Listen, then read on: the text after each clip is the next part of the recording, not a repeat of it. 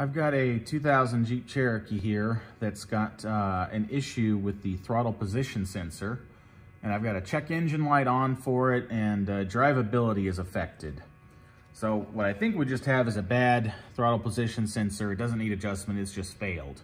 Throttle position sensor is down here on the shaft of the throttle body, located on this uh, light colored plug I'm touching.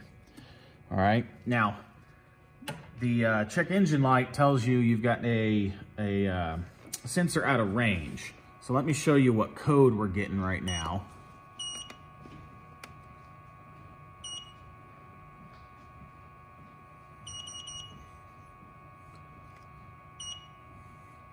So we'll ignore that first one, because that's not related. Come on.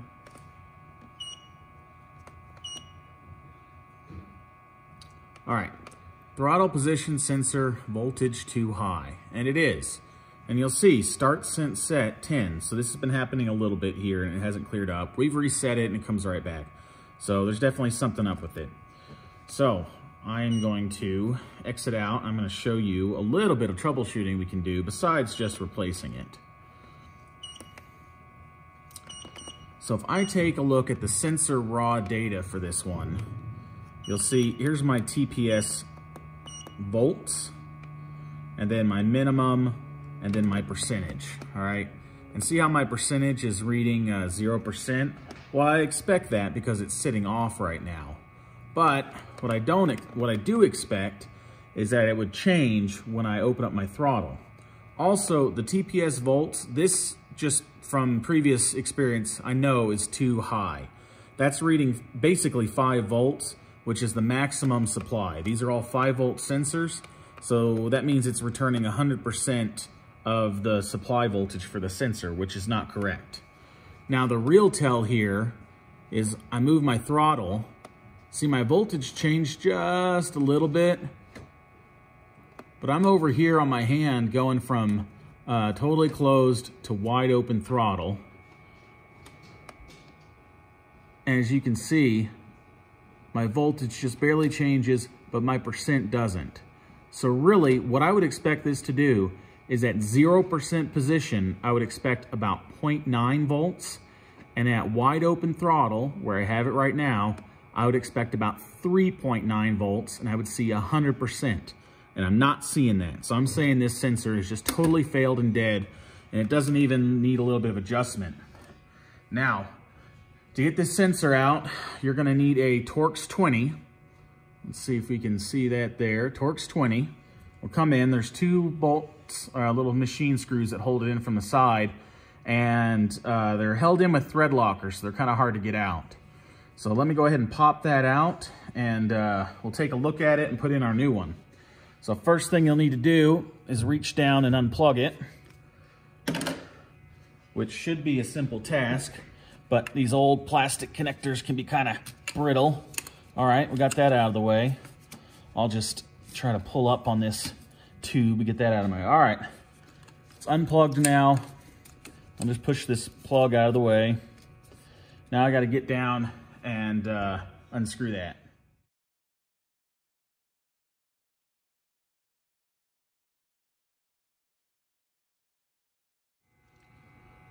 All right, so I just removed the old one. I've got the plug there. I've got my new sensor here. And real quick, we're just gonna test it before I bolt everything in. So I'll come down, I'll plug it in. And what we're gonna do is we're gonna watch uh, to see the uh, percent opening go from zero to 100. So I'll come in here with my screwdriver. And look at that, it goes to 100 and back down. So this one is good, it is working. So now I can go ahead and uh, bolt it in and calibrate it.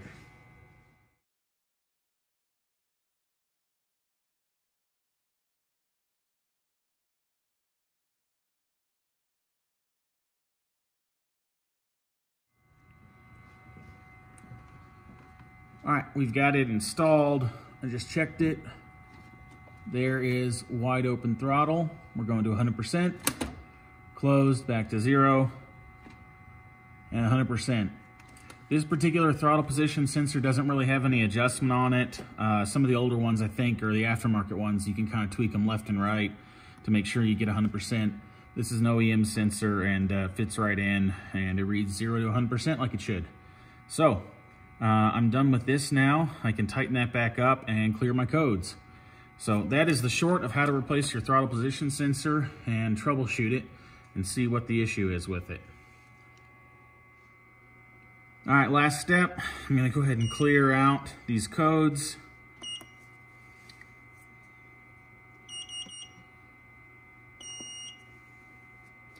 Unrelated and throttle code P0123.